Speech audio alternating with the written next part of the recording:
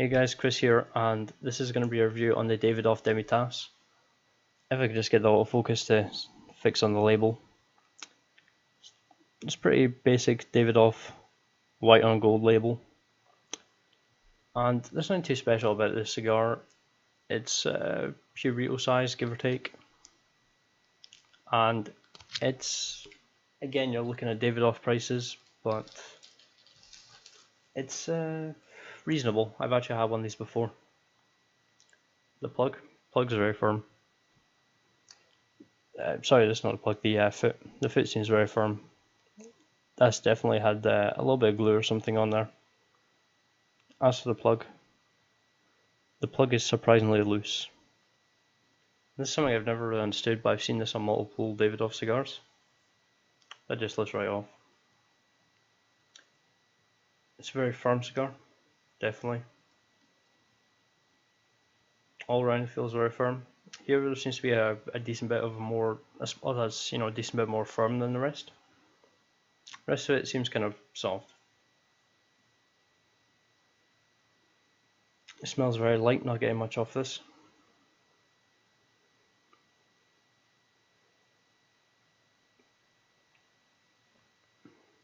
Uh, generic Dutch, I would go. Uh, sorry, I would go for. Yeah, maybe Holland. Uh, it's uh, traditional, sort of the generic European tobaccos you tend to see in most of these types of cigars. So, let's uh, light this up and have a look at it.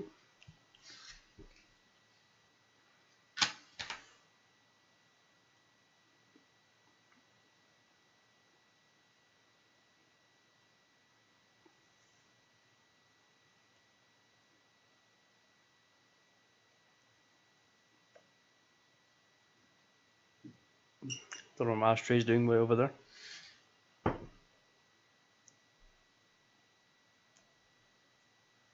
Not very even burn. As you may be able to see actually.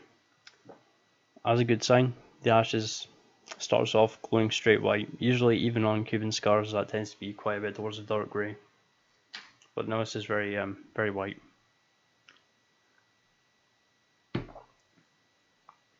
Before we really get into it, let's um, have a look here. It's £2.69. Compare it to the £2.89, I believe closer to £3 Davidoff Exquisitos, it actually is a little bit bigger. It's 3 or 5 star reviews, uh, 4 inches, 25 ring gauge, and yeah, it seems to be quite a mild smoke. I would, you know, let's get on to that with the review.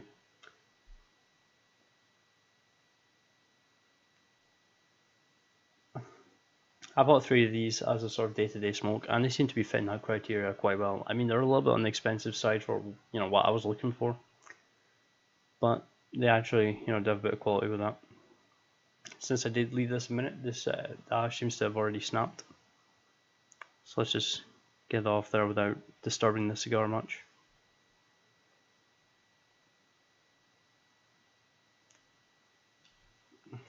While we've still got most of the original size.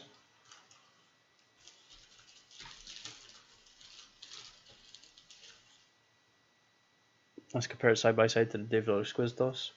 As you can see, it's actually maybe like a centimeter, centimeter and a half longer. Can't see it now because some of the ash I took off. But it's a bit thicker, and um, yeah, it's a little bit cheaper. As you see, it's more of a richer brown tobacco. And it tastes very good, but that one's a bit more like an expensive mini cigar. That'll have its own review someday though.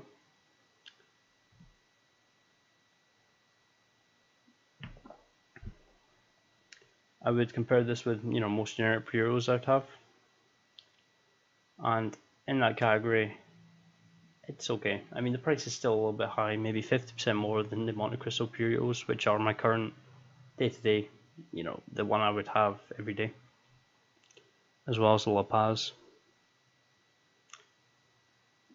But yeah they're quite nice. Maybe sit back after eating and have one of these I've um, I just reviewed a Vasco da Gama Brazil cigar, and uh, I had to stop that review midway, and I'm not going to do anything with that review because I didn't like the cigar. I tend to only review not only just the reviews that I like myself, but if I'm not liking a cigar, I would just stop it. There's no point in having a cigar you don't enjoy. This is a cigar I definitely do enjoy though. It does have the um, the very high price tag of Davidoff cigars, but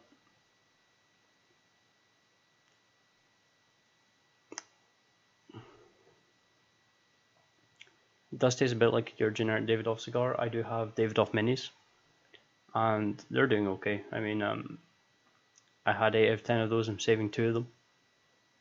But I, uh, I don't know, definitely it's just a bigger version of one of those. They're about a pound each, considering they're minis.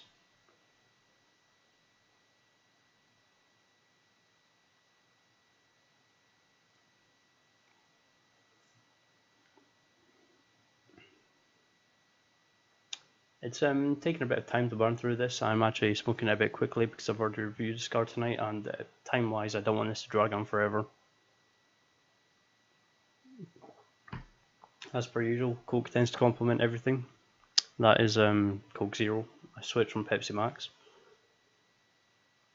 The actual um, wrapper itself is actually kind of um, medium to coarse sandpaper kind of feel you usually get.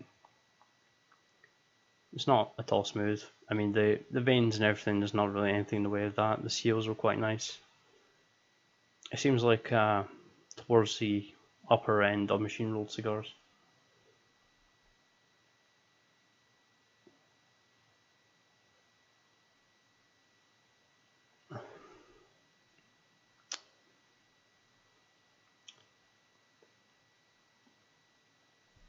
Also to mention, these do come in a 10 pack, and I've got the price here. It is, for a box of 10, £26.89, so around £27 mark. This is about £2.70, so you are paying for 10 of these. When I say box, I just mean normal packet. For example, like this, this is, you know, paper cardboard.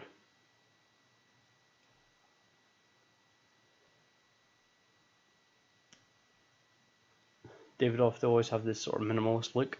Cigars are always quite minimalist, and well, I mean, comparing it to the price, they're uh, far from basic. They seem to be um, more of a luxury cigar, and the price is luxury, but the taste, it's um, definitely up there. I mean,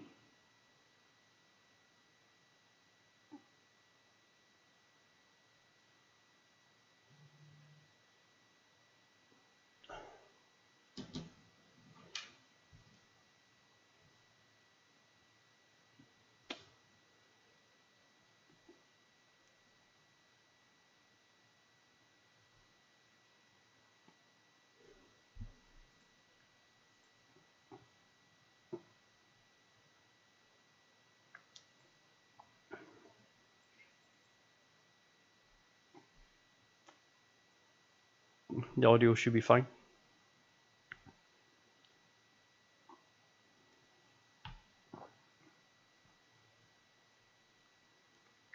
I definitely a little bit of tang in the tongue. As for the amount of air through, I mean it's a relatively cool smoke.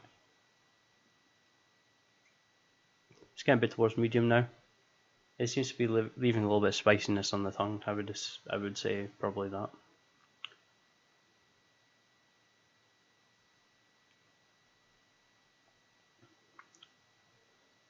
Definitely a mild taste. I mean, there's not very much left. Um, I mean, it smells pretty. Um, I would say this has less effect than a mini cigar in terms of you know the uh, the sort of punch you get with it.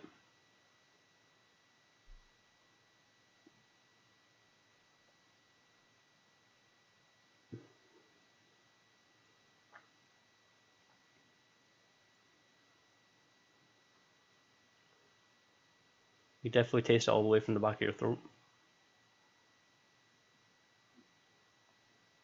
I know, say uh, this does seem to be depositing a lot of taste, but there's not really much substance to the taste. It's a very um, nice light one. Some people like that, some people don't. I would probably choose this to um, some other cigars, but for the price, maybe not. Personally, I would say if you're going to buy a box of 10 of these, don't. You should buy two packs of the, well, two of the five packs of the Crystal Purillos, which I think are better, save yourself a bit of money as well. Um, if you're going to buy one of these, if you're going to buy them individually, I would say yeah, go ahead buy one. They're very nice to try out. I bought three of them, and I think they're pretty good. But if I was going to have them as a more regular smoke, I would go for the Montecristo Purillos. I mean, um, you're paying less for a decent small Cuban cigar. Also similar to the Guantanamera Purillos.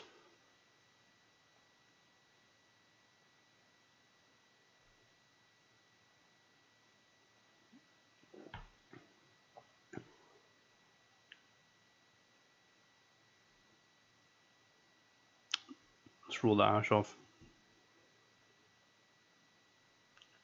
Time wise, it's actually not doing too bad.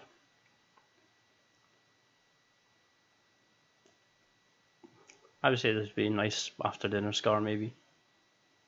For its price, I would say if you're gonna walk around, if um, you're outside, you fancy a cigar, I would take a pack of mini scars with you or a pack of Montecristo Purillos like I do. I wouldn't probably take one of these.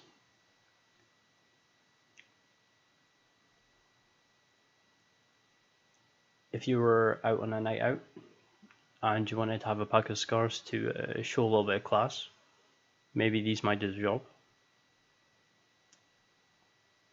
I would say the Montecristo Purillos for that situation would also take over for me because it's nice to offer someone, you know, a bit of Cuban cigar. They always taste very good, they're very sweet. Most people will enjoy them, most smokers will enjoy them. Um, most people who have, know, everyone has cigars would probably enjoy them as, you know, a light smoke. Um, as for this, um, if you're trying to, you know, be a bit flashy, I would say probably these. But again, price is also something to consider.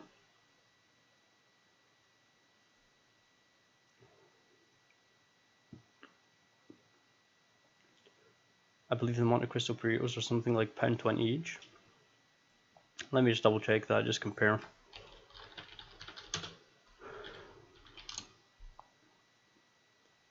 They're seven pounds, so that's less than a pound for each. Basically, um, quite a bit less than half of this. And it's a little bit bigger cigar, I believe.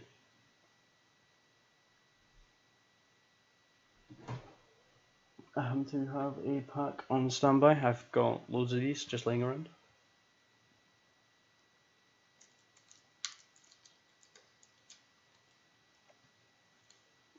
I love having packs I can't open. I um, never have any nails, so it's always a bit of a problem.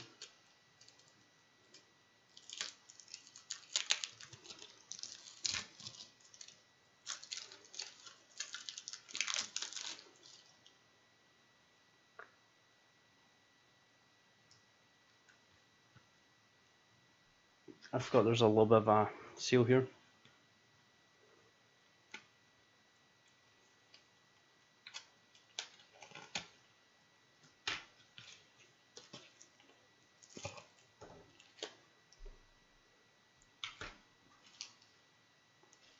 I do have another one of these so I could show you what a complete one looks like in comparison.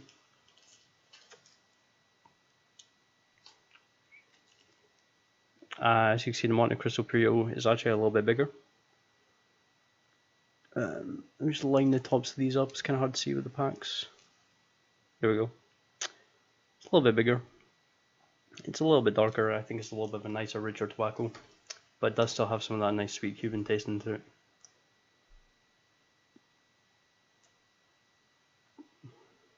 And it does cost less than half the price of this Dutch cigar. Davidoff something I've never really understood. It's um, extremely luxury cigars, but I never find too many things special about them. I think they're definitely towards the upper end of what they are, but I'm never really worth the price. So right now this is uh, gone very very very soft. Nothing's come out the plug which is actually pretty good.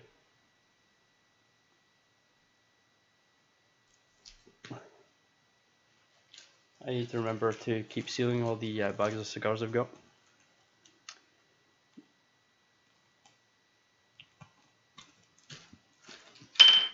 Oops, I've also got to remember to, you know, get more humidor packs.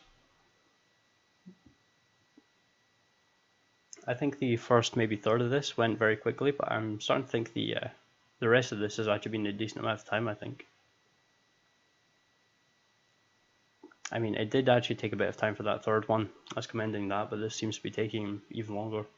It's quite a nice cigar, actually. But then again, you are paying for it. But remember, for uh, less than three of those, you could buy five of these.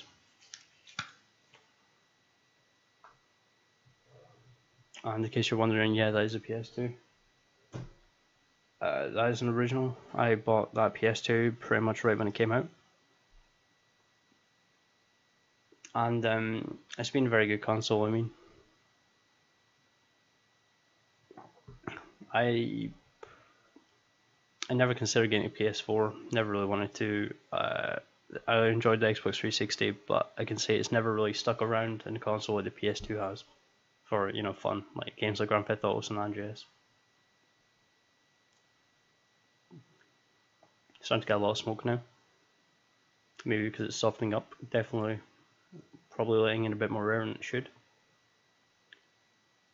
Um, yeah, it definitely seems to be.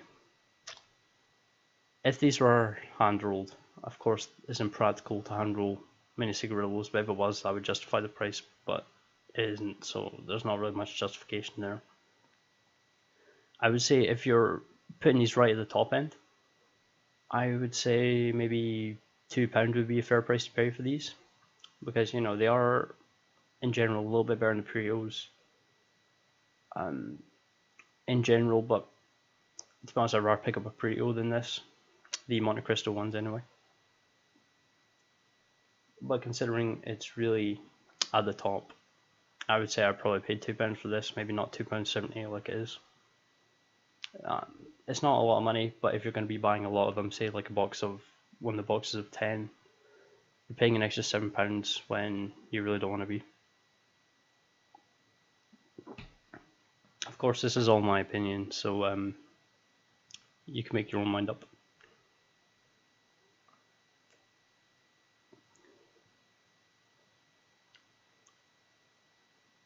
The ash is still doing pretty good. A little bit on the end there from pinning down the ashtray.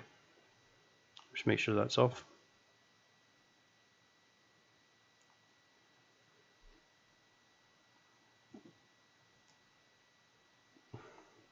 I'd say this is a very welcome scar because, as I mentioned before, I did have a Vasco da Gama just before this, and I was really disappointed to the point I didn't even want to finish the review on it, so I just stopped that. I'm probably not going to review that another day anyway. And this is definitely a nice, sweet, welcome change over.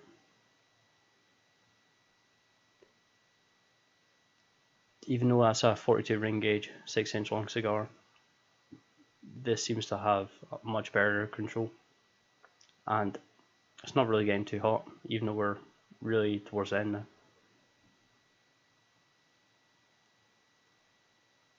Still medium heat. It's not doing that overburning thing like you'd expect.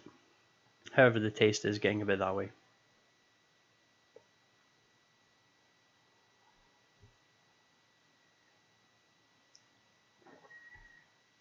I'm not sure if that's guy whistling or uh, those uh, whistling fireworks. It seems to be so regular. Uh, you probably can't hear it. It's just uh, I've got the window open.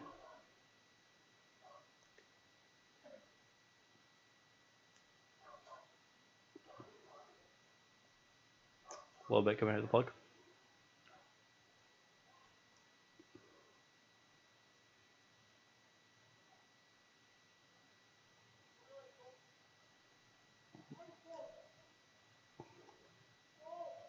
Oh no, that's a jockey, don't worry. Don't know who this Bob character is, but he certainly seems desperate for him.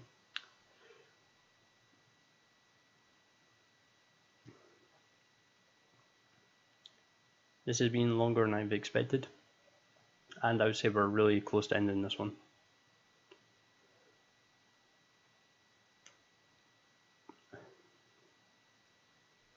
Um, also for the timing of this video, this uh, won't matter to people watching this in the far future, but around the time I uploaded it, I announced my giveaway winner a couple days ago. Um, that same night, he's got me on Twitter. I follow him on Twitter, and he follows me on Twitter.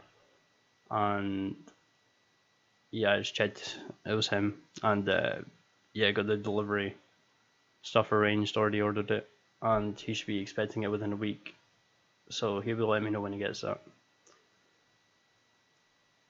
I mean, it was only a Romeo and Juliet, Romeo number two tube, but it's, that's um, I think is one of the better cigars I've had. It's definitely a very good one. So I want to give one away, but I think next time I might give a bit more away. I don't do giveaways to um, get subscribers, whatever. I really just want to, you know, give back a bit to the community.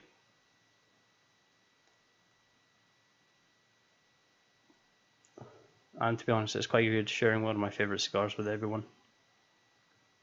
And I would really like to, you know, share every good cigar I get, but that's a bit financially demanding, so it's not.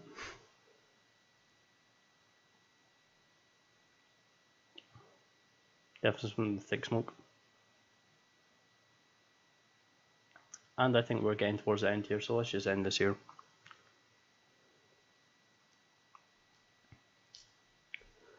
So that's the Davidoff Demitasse, the uh, pretty generic Purito shaped cigar. It's a reasonable size. Um, I would say if you could afford that as your day-to-day -day smoke, you're gonna have quite a good time. It's uh, quite a good cigar, quite good quality, quite everything. But personally, I would prefer to save a bit of money, pay less than half of that for. Hang on, I'm just thinking because um, seven pounds twenty-seven for ten of them. I fifteen. Yeah, you could get pretty much. Yeah, you can. You can get double these for the price of the um, Demitasse. So you could get four packs of these, which is twenty for ten Demitasse. So I was saying the Monte Cristo Puritos I would definitely suggest these over them. But if you have one-offs or you like to order just a couple extra cigars in that price range to add to your order like I did, then uh, yeah, I think they're definitely worth the gander. I mean, we've got Davidoff quality, but of course Davidoff price. So I hope you've enjoyed this review. In the description to my Facebook, you could go there, Cigar Hub Facebook. I post whenever I live stream. I post a lot of different things there. Every single um, cigar I have, I tend to document there. I don't spam you with posts though. You also find my Patreon if you want to support me. Sorry, I burp all the time. You also find, um, what was it? The links to two places to get my cigars. It's only really Cigars Limited right now. But I also keep the uh, the Backy shop in there because I can. So yeah, I hope you enjoyed this review. Thanks for watching, and I'll see you all in the next review.